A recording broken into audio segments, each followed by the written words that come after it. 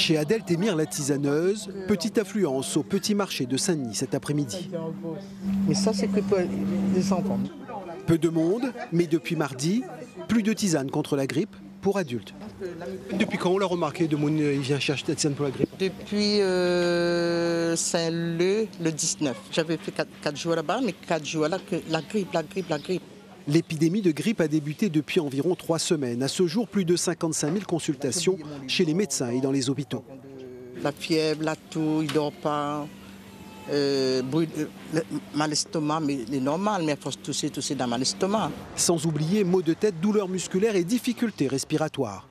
La grippe a déjà occasionné 21 hospitalisations en réanimation et provoqué la mort de trois personnes. Ce qu'on observe sur les personnes qui sont hospitalisées, et notamment dans une hospitalisation sévère hein, pour des, cas graves, c'est que parmi elles, il y a des personnes qui sont considérées comme étant fragiles, à risque, euh, et ces personnes auraient dû être vaccinées. Et là, on l'a vu, pour la moitié d'entre elles qui auraient dû être vaccinées, elles ne l'étaient pas.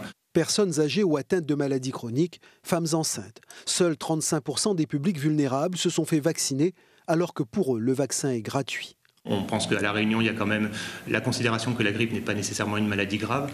On banalise souvent un petit peu cette, pathologie. Alors il est effectivement possible d'attraper la grippe même si on est vacciné, mais l'important pour ces personnes-là, c'est surtout d'éviter une forme grave. Avec complications.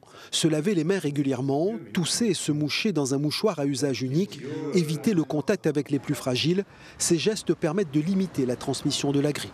Grippe qui a causé à La Réunion en 2017 14 décès, 18 en 2016.